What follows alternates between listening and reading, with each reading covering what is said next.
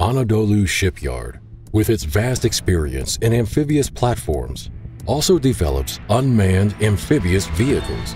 These platforms have unique advantages, such as transportation capacity, long endurance, landing capability, advanced maneuvering capability, fast speed.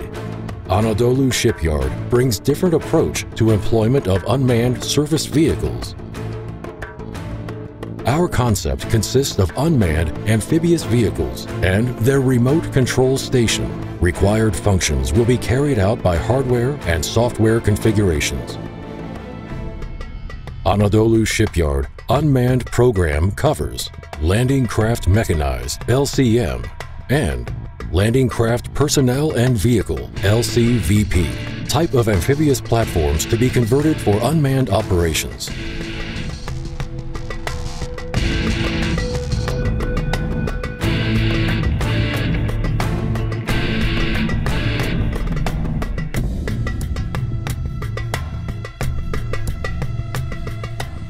They can conduct various tasks in cost-effective manner without risking human life. Also, they can be operated 24 hours at 7 days without any personnel restrictions.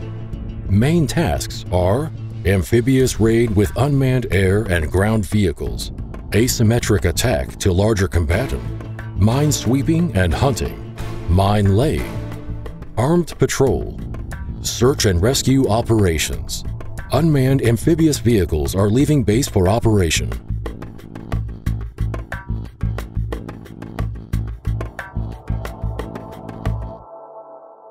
They will follow predetermined course and waypoints to their dedicated patrol areas.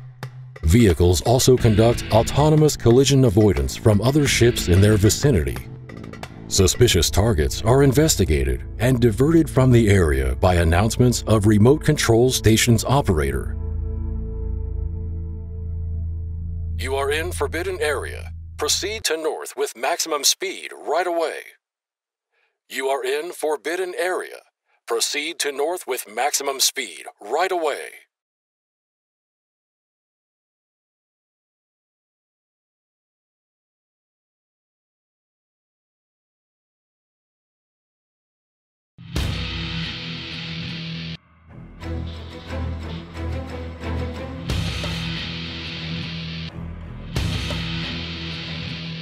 Remote Control Station directed unmanned vehicles on the target received from FleetLink system for investigating.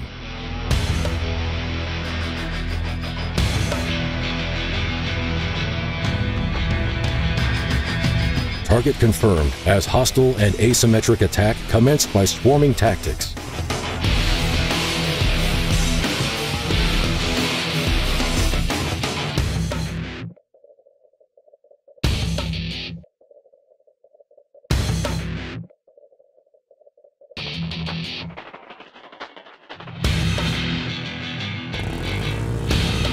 Unmanned amphibious vehicles are loaded with unmanned air vehicles equipped with ammunitions to be detonated by impact on target.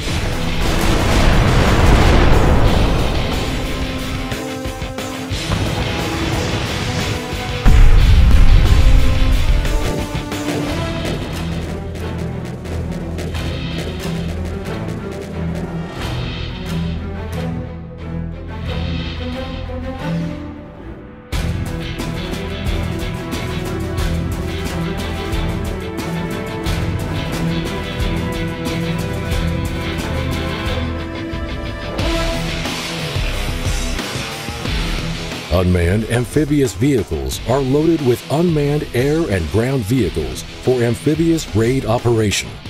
Main advantage of this application is extending operation radius of unmanned air and ground vehicles with endurance ranges of amphibious vehicles.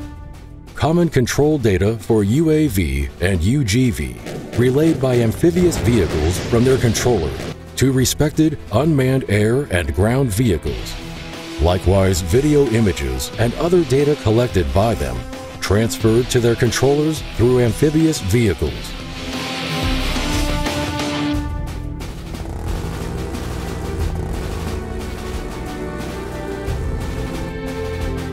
unmanned ground vehicle illuminate target with laser for guiding bomb.